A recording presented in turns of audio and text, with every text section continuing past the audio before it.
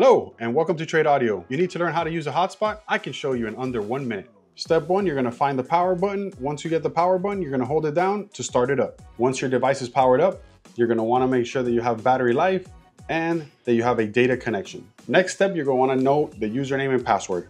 Here at Trade Audio, we put it on the back lid and we customize it, making it easier for you to connect. So after you've connected to the username and password, you're gonna wanna check the device to make sure that the device is connected to the hotspot. At Trade Audio, we offer you hotspot routers which have the option of a direct connection, giving you a more stable connection. Once you connect, you're gonna wanna do a speed test to make sure that you are connected to the internet and you can verify your speeds.